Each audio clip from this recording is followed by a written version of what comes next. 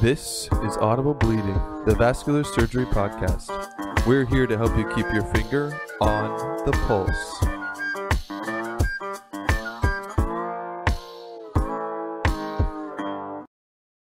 Hello, welcome back to Audible Bleeding. I'm Adam Johnson, and today we have with us Gustavo Oderich from the Mayo Clinic in Rochester, Minnesota. He was originally from Porto Alegre, Brazil, but now he is currently the chair of the Division of Vascular and Endovascular Surgery, the program director for the Vascular Surgery Integrated Residency, Traditional Fellowship, and Advanced Aortic Fellowship at the Mayo Clinic. He's also the associate editor for the Journal of Vascular Surgery and on the board of many other prestigious journals. And he's really a pioneer in the fenestrated and branch devices for complex aortic aneurysmal disease. So, uh, welcome to Audible Bleeding and thank you for your time. So, I guess we'll just get started with, uh, in general, this is for vascular fellows and people starting in their training in vascular surgery. So, can you give us a little bit of story of what brought you to vascular surgery? Sure. So, we have to go back to the like 1995 or so. I, I, was a resident in general surgery in Brazil, and I really liked the finesse of vascular surgery. Uh, the idea that at that time already the specialty was changing at a very fast pace with the introduction of endovascular procedures. So I thought that that was going to be a very appealing specialty where I would be able to join the skill set of very fine open surgery with the potential to do catheter-based procedures. And that was what got me started way back in 1995. And so you were in Brazil at the time? Yes, sure. If I did my medical school there and actually a couple of years of general surgery. And during those two, two years of general surgery, I had the rotations on vascular surgery and had the chance to participate then as an intern or young resident in one of the first endovascular aortic repairs there. At the time, a lot was with uh, modified stents, or actually stents that were coming from the US, uh, physicians from the US that were coming to Proctor. And I thought that this was really revolutionary, that, uh, that it was going to change everything. And uh, at the same time, uh, I never thought that Brazil was going to embrace endovascular therapy so fast there were numerous regulations to import devices, and uh, my my thought was that I, ha- I had to get, kind of get out of the country to be able to train on these techniques. And the options were either to go to Europe or UK or come to the US. And uh, throughout advisors and so forth, I found my way, you know, coming to to the United States.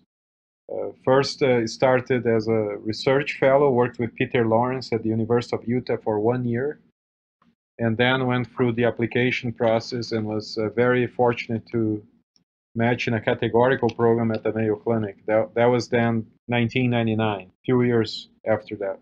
So I'm sure you had many uh, great mentors. Uh, this is Kevin, by the way. Um, throughout your time in helping you through your vascular training, can you describe, you know, some of the characteristics of a good mentor? Yes, Kevin, that's a very good question. I think I was blessed that I had the chance to train through giants of both open surgery and also endovascular surgery. First, uh, for starters, was I, I, guess Peter Gloviczki. I can't not mention about Peter Gloviczki. I mean, he's a masterful surgeon and, person and has really accumulated all the accolades of an academic vascular surgeon, but a masterful surgeon with open skills that are unmatched and uh, also academician. So he was a big mentor. Tom Bower has had also a lot of influence on me on how I carry open surgery in general. And I think he was heavily influenced by Ken Cherry, Larry Hollier, Peter Pairolero. So I feel that a lot of the things I learned from him, I kind of it inherited from those. Then transitioning to endovascular, the beginning of my vascular surgery training here at the Mayo Clinic, we are back down now to 2004 uh, I felt that we were very conservative on endovascular and we were kind of behind of what things were doing around the country. And uh, Tim Sullivan was really the one that I would grant that got me started on thinking endovascularly, thinking out of the box, thinking, you know, can you do a less invasive alternative and can you push the limit?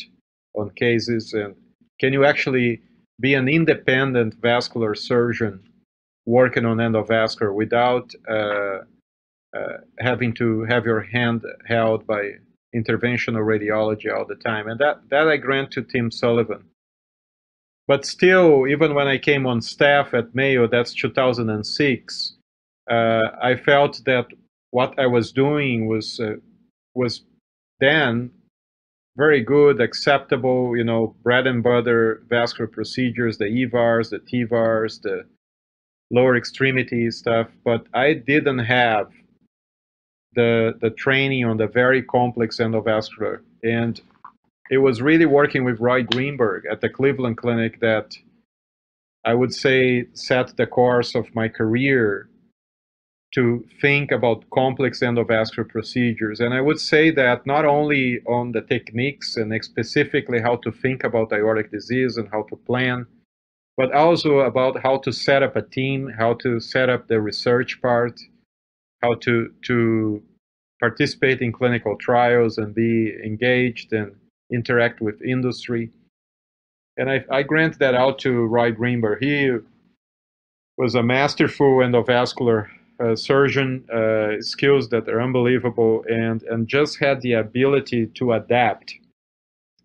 And I think that is the most important trait for us, uh, and I say for the trainees, is that you have to adapt because what, what you're doing now, what we're doing now, and what I was trained is a lot different than we actually I'm doing. I mean, the way I do cases is very much different than what Roy Greenberg taught me, but he taught me how to think out of the box and how to adapt on planning and conducting these very complex endovascular procedures. What would you say is maybe some of the biggest differences as things have evolved from when you were trained and then to how you do the procedures now? So Roy always liked to do things through the femoral approach, and he was blessed to have investigational devices at his hand every day. And when I came to Mayo, just like most of the centers in the US, I didn't have access to any manufactured device. So it was using creativity and working with others uh, that we started using modified devices. And one of the first things that I came to realize is that using the brachial access was making those cases much easier, faster, uh, using a staggered approach to deploy the stent so that I could leverage space to get the vessels.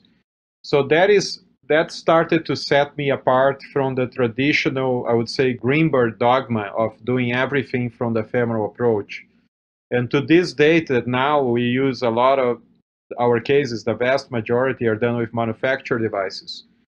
I, I still leverage that. I oftentimes ask uh, preloaded catheters or preloaded wires so I can I can do the case in actually a similar way as I, I was doing when using uh, physician modified endografts. The other difference is that uh, the traditional culture of the Cleveland Clinic, and you can see that on several of the people that were trained by Roy, is to use fenestrations no matter what on every case.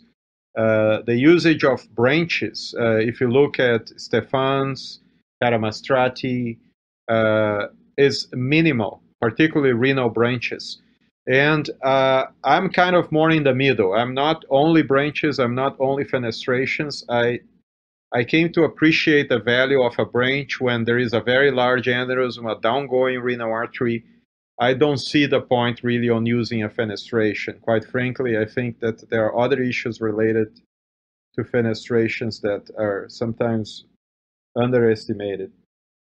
So that's another difference from from my traditional training with Roy. So Gustavo, you know, you have the luxury because you've positioned yourself to have the total spectrum of devices available to you. When do you decide to use a physician modified device in your practice as opposed to a custom device like a branch or fenestrated device? Do you see a role for parallel grafts in your practice as well? Very good question. So I think that uh, an important message is that there is a role for all these techniques, that we have to actually master all these techniques. Uh, but the two techniques, physician modified and parallel grafts, for the most part, uh, originated from the creativity of physicians because of the lack of access to industry manufactured devices. If we all had devices at our hand, the vast majority of cases would be done with these devices. They are easier, they're less time consuming, they're devices now with lower profile, with preloaded systems that make the cases faster. So it's really because physicians don't have access that uh, physician modified devices and parallel grafts were started and gained momentum. But having said that, these techniques I don't think will ever disappear. And there are some patients where they have tremendous value. And perhaps they are actually the best techniques, better than a manufactured device. We, uh, for example, we use still physician modified devices in a very few patients every year, maybe a handful of patients. These are patients that have an urgency or some situation that they cannot wait for a manufactured device. They have multiple vessels involved, so we don't feel that uh, parallel graft is the best. And uh, the classic scenario would be a rupture, contained rupture pararenal or, or, or paravisceral aneurysm, where we don't want to use a T branch for some reason perhaps is too much coverage of a thoracic aorta that is normal, or renal arteries that are upgoing or coming from a relatively narrow aorta. And in those cases, knowing how to do a physician modified device well, I think is a tremendous advantage. Parallel grafts, you asked, I, I do see role, and I, I'm not one that says that parallel graft is a, an absolute nonsense. I do think that it has been widely used uh, again because of lack of access in, to other technology, and I don't think that for physicians that have access to devices, it pays off to do parallel graft on elective cases that can actually be treated well with a branched or a fenestrate graft. Having said that, there are cases that are really bad for fenestrate grafts, uh, patients that have very poor iliac access, uh, uh, patients that have a rupture that you absolutely have no time to waste, and yet you feel you can get a seal with a parallel graft. I think that's the right thing to do, and and that's uh, those are the patients I use here, and also as you know our our access to manufactured devices linked to the setting of, of clinical trials. So these trials have numerous uh, medical and anatomical exclusion criteria, and sometimes you have a very elderly patient with a prohibitive risk that does not quite meet the criteria for the trial. But we feel that there is a, a good anatomy for a parallel graft. That's a case that also we might use that. So I, am not one that uh, that say that you know it's it's a nonsense. You should never use. I mean, there is no room for it. I think that there is room for this technique. I just think it has been used uh, much more than what it should, and in part is because physicians don't have access to other devices. Do you, do you have any personal experience with uh, in situ fenestration as is described from the group in Paris? I know Haulon and his partners have, have used that in urgent cases and, and uh, they seem to have good results with that. Have you, have you done any of those cases yourself? Sure. No, actually, I was highly critical when the, the first paper came up. I actually uh, was uh, one of the reviewers and I was very critical. And uh, I have to say that I changed my mind on that. I do think that there might be a role. On our experience, it's probably a very small role. Why? Because we can do a physician modified graph relatively fast, very accurately, and at the end of the day, I think that the patients have good outcomes with that. So I don't see much of a role on the paravisceral aorta for us. Having said that, uh, we've done it in the arch, and I am really impressed with the technique and the results that uh, uh, Dominique Fabre, who really pioneered the paravisceral in situ in Paris, and now Stefan Haulon is working with him, uh, has now come up with a larger series. So I think it's exciting as well. I just want to say for our, our listeners, if you want to do any additional reading on this area, um, Dr. Oderich just had a great publication come out in the JVS called The Evolution from Physician Modified to Company Manufactured Fenestrated Branched Endografts to Treat Pararenal and Thoracoabdominal aortic aneurysms, where he kind of describes experience at Mayo Clinic. Now, with these company manufactured fenestrated branch endografts, do you think this is something that's going to become more mainstream and available to a wider range of vascular surgeons, or will be maintained in these centralized academic centers? I think that uh, it will be spread, but when we look at data from how many physicians are trained to how many physicians actually do the cases. Let's look, for example, at the ZFEN. Uh, ZFEN is kind of the first step towards doing complex case. So for every 100 physicians that are trained by Cook, uh, about 5% actually do more than 10 cases a year. And what we don't know is really the difference in outcomes between physician centers that are doing higher volume versus those that are doing less volume. We think that there will be a, a big difference in outcome. If we look at any complex procedure, open thoracal, esophagectomies, Whipple, etc., there is a huge impact of surgeon and center volume on outcome. So I do think that as time goes by, and now we have uh, large data sets from Medicare, etc., we'll be able to start looking at, at those things. But at the end of the day, once these devices become more available, physicians, uh, both in the community and in large centers, will use it. A lot of the limitations are going to be imposed, I think, by cost and uh, perhaps by limitations from the industry to who gets access. But when we look at other procedures that are that add some layer of complexity.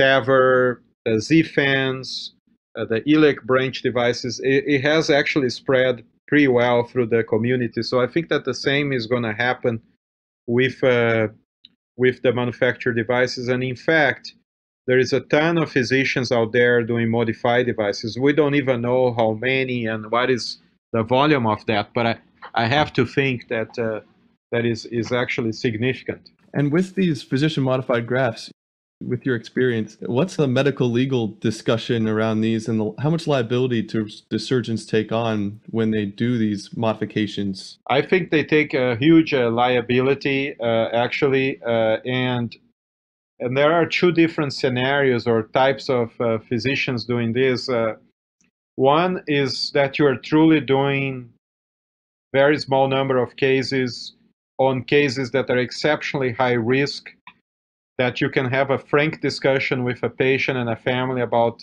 the stakes without repair, with open surgery, with a physician modified.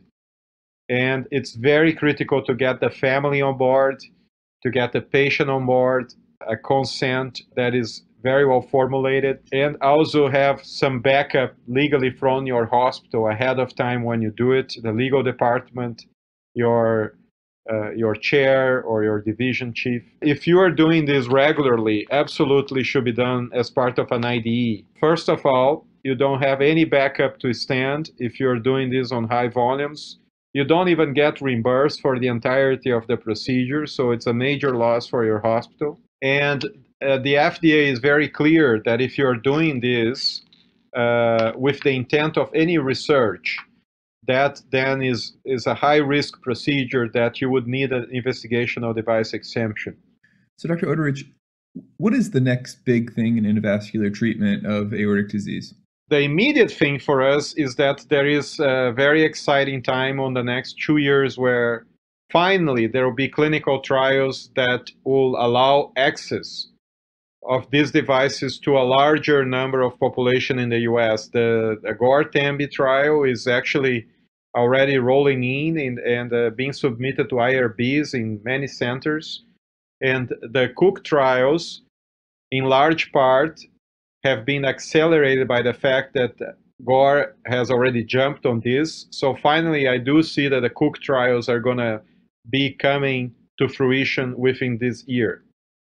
Uh, so the good news is there is access that is going to come. So the, the generation of uh, surgeons that is training now, that's graduating, will get their hands into devices. Uh, but there is always advances on these devices that are gonna that are coming at a pace that's much faster than what the trials can overcome. things like a smaller profile, newer delivery systems, newer designs, uh, newer bridging stents. So the technology is getting better. The procedures are going to become, I think, easier on us technically to do it and easier on the patients with less complications. The next thing that is going to happen, I think, is that, uh, and there is some light on that already, is to go away some of the current paradigms that we have that all these cases are done under fluoroscopy. For example, there is work uh, already with uh, GPS guided procedures, uh, fluoroless procedures, and I think that is going to become a reality. And then going to the basic science part, I think that we are we are still living this uh, on complex aortic disease, this paradigm that we fix everything with stent grafts of fabric and metal. And I do think at some point in the future there will be work with regenerative medicine and stents that actually are biological that become incorporated in tissue or that reinforce the aortic wall. And we're a long shot from that, but I do think that that is going to evolve that way. So, Gustavo, I have a question. You know, we're talking about this going from being something done in highly specialized centers to possibly uh, being done more widely. What do you think are the basics that you need at a center to do advanced aortic work? So, the first thing is you need a team. And when you think about a team, it's not only your surgical team, which is a big part of it, you know, having your partners and uh, uh, your scrub nurse. But then you, you need to have a dedicated uh, cardiovascular anesthesia team, critical care team, the nursing team that is all engaged because there are many parts of these procedures that go out of the OR that are critical for the patient to have a good outcome. Uh, I think the physicians also have to realize it's a lot of work. It's not just the fun of putting that stent in the fenestration. There's a lot of time consuming work on planning these cases that the physicians have to be truly passionate about it uh, on following up these cases. Uh, and if you if you are interested on becoming a big player on this work with research on this area is critical because this is a technique in evolution that we are constantly assessing the outcomes to see what is best. And you have to have a big part on that as well. And so what do you see as maybe some of the big uh, biggest barriers in advancing this field? Well, I think clearly one of the biggest barriers we have uh, now is uh, is cost. More and more, uh, these procedures are just uh, exceptionally costly. Uh, not only the aortic device is costly, but the bridging stents are sometimes even more costly than the aortic device. now we are doing stage procedures, so we're talking about two operations. The follow up as well that's one big barrier because uh, these are not money making procedures for any hospital or department. At least that's what I'm told. And uh, it's a challenge to, to build a big program when you're not having a positive margin. The, the second issue is still access. You know, access is just limited to like a 0.1% of the centers in, in the world. And that is hopefully going to get better now with some trials and devices getting approved. But there will always be an issue as long as there is regulation and there is going to be evolution of these devices. So I, I, I can I can see that even when let's say the TAMBE gets approved, there is going to be the second generation device and and the Cook device gets approved, there will be the the newer generation device, and access is is always uh, going to be a problem. So I think that there is always room for having pipelines of clinical research that you can get access to things uh, before they actually become commercially available. Going back to the cost a little bit, so some controversy has been in the literature about um, the NICE guidelines out of the UK, where they won't reimburse EVAR in a lot of situations and recommend more open treatment, partly because of the device costs, the long term surveillance, and reintervention. What are your thoughts about the role of open surgery then versus endovascular when you talk about this cost? If you are more of a, a vascular surgeon in the community setting or who has just a patient who needs treatment for their aneurysmal disease. So I think there are two things to, to say about what's going on in, in England and uh, with the and the UK with the NICE document.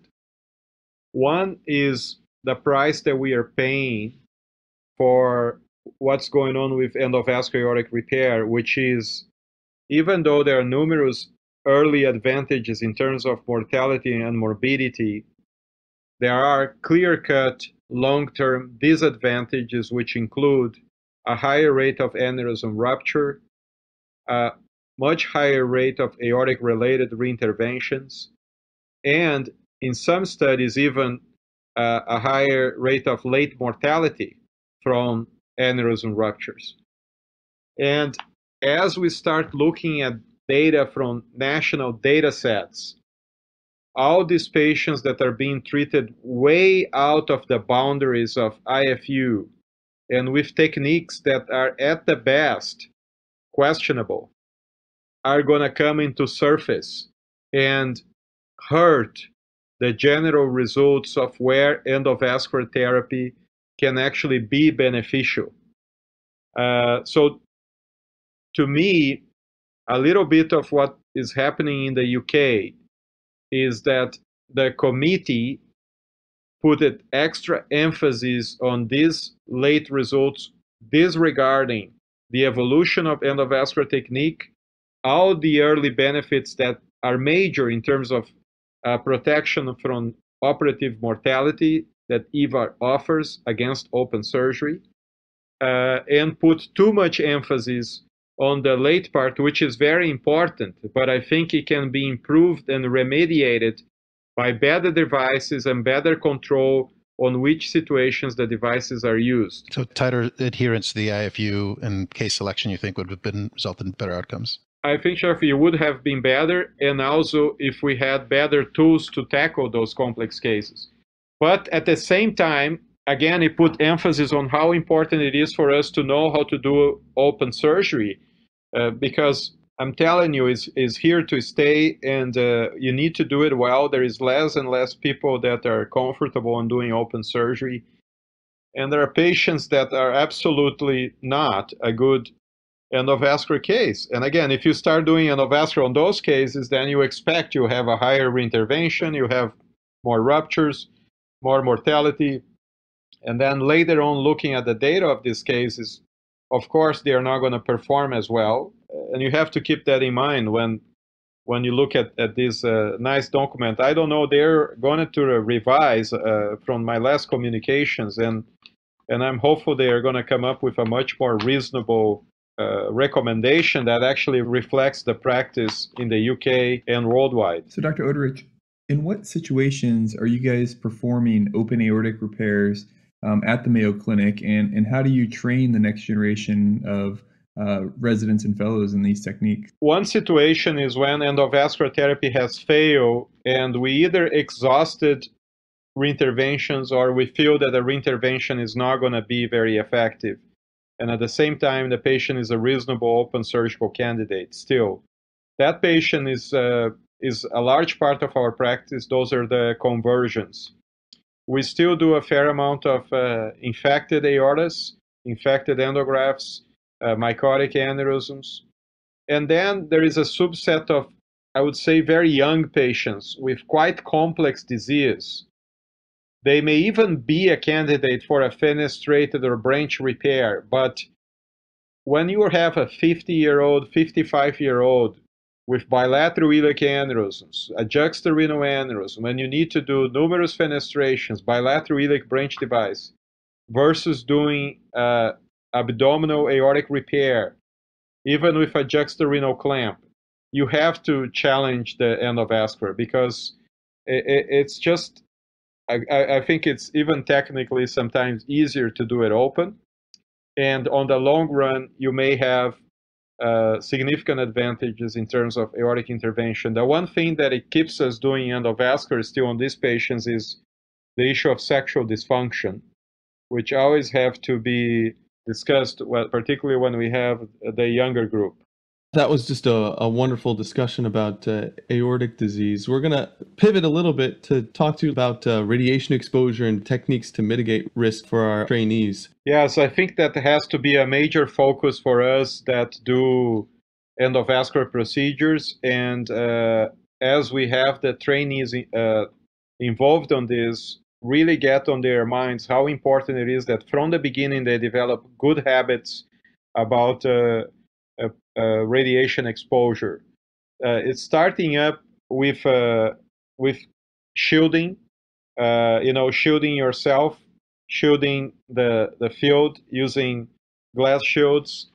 we have now, since the last two years after the publication of the uh, moderate study on circulation, become very attentive about shielding our calf with, uh, with lower leg shields to protect from radiation.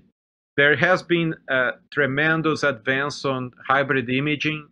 Uh, so when we look at our own data over the years, even after we already have overcome the learning curve, so we kind of plateau in terms of fluoroscopy time, operating time, uh, it was really how much better the imaging uh, technology became that allowed us to decrease radiation substantially.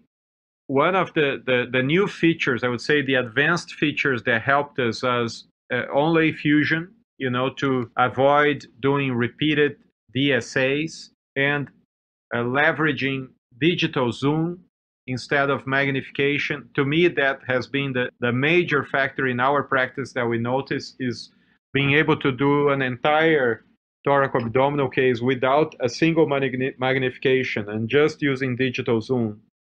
We were able to cut uh, the radiation dose, as you see on that publication, from an average of 3 gray per 4 vessel case to 500 to 800 milligray so that has been a, a tremendous improvement.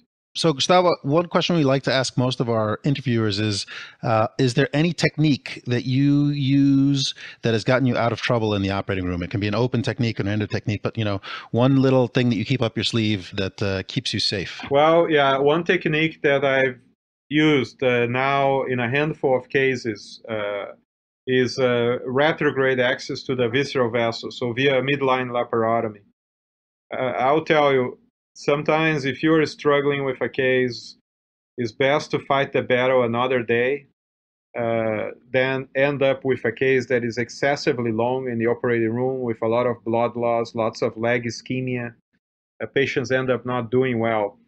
So I think over the years, as I, I matured on technique and matured on having enough complications with my own patients, I, I pulled that trigger much earlier nowadays. So I may actually quit, revisit the case the next day, uh, next week, and on those cases, going back via uh, midline laparotomy and doing some sort of a hybrid approach, retrograde access, uh, has bailed us out tremendously in several cases that we were able to complete.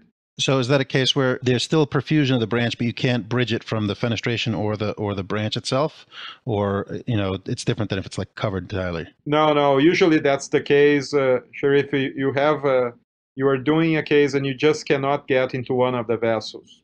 You try, you try, and I have now a lower threshold to just quit, leave the leave the the branch. It's usually perfused. You know, I have not had an issue of that occluding I guess it can happen, but uh, usually it's not the case. And then just do an incision, put a wire retrograde, and usually becomes a much easier case with less complications.